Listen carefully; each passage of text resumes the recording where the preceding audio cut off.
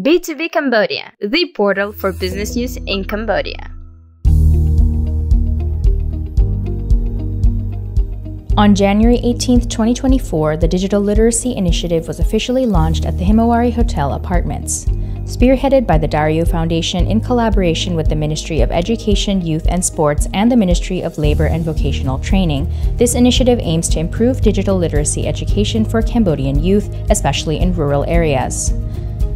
The program in Cambodia will be implemented by Swisscontact for a two year period, with the overarching goal of integrating youth into the digital economy by bridging the digital gap and equipping them with the necessary digital skills.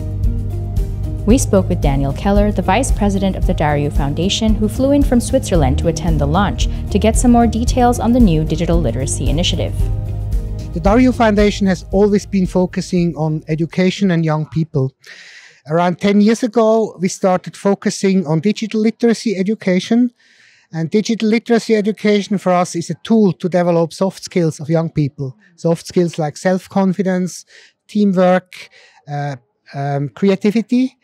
And so uh, we have been doing that in Vietnam for around 10 years. And we started working in Laos and in Cambodia this year.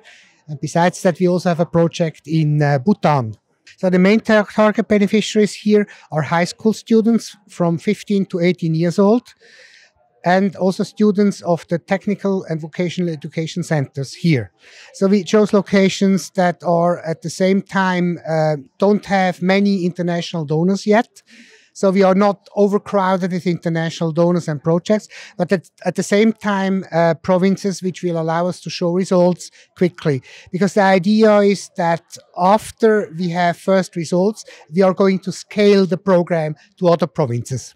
This project is for the time being for two years. And we try to um, uh, expand it after gaining experience and evaluating it. So to ensure that we don't replicate mistakes in other provinces. So uh, the Dariu Foundation never intervenes directly. So we don't actually train children directly, but we train teachers. We build capacities of teacher. And in, in the case of Cambodia, there are two areas.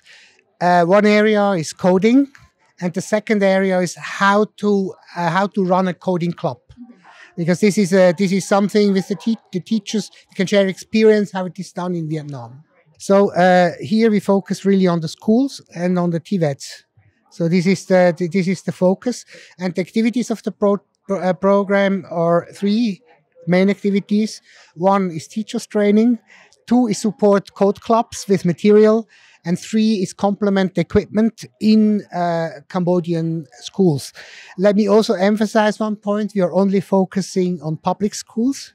So it's it's uh, this project is really about improving the public education system.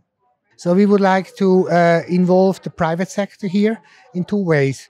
First of all, in, in, in providing funding for the initiative, but secondly, also to provide us technical input because uh, find, uh, the private sector here, like uh, large companies here, they have experience what the job market needs. The main form of collab collaboration with the government is to develop this curriculum together and to make sure that it meets the needs of Cambodia, but then also to ensure that it is integrated into the official curriculum. And I can maybe um, give you an example. In Vietnam, coding was not part of the curriculum. And after piloting this and after then implementing coding in 10 provinces, it, it has become an official part of the curriculum. So it's now in Vietnam, every student, every high school student learns how to code if I compare Cambodia like 25 or 30 years ago with Cambodia now, I'm really impressed. And I would say uh, Cambodia is on a good way to become like Vietnam. So I think we are only now only slightly behind Vietnam, while in the past we were maybe uh, maybe years behind Vietnam.